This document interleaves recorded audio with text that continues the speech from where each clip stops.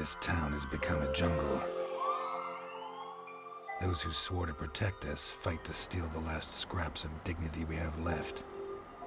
The Santa Esperanza I was born in was a clean town. A place where it meant something to be a cop. Eliot? Coming right up. Your dad would be proud of you. Until he arrived. He took everything I had. But in the end, I sent him to hell. But now he's back, and he's dragged me in.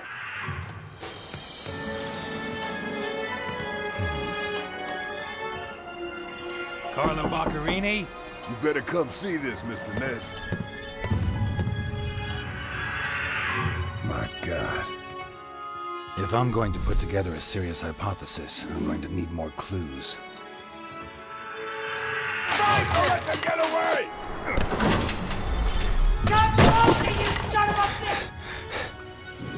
I don't know what your game is. I'm not a cop anymore.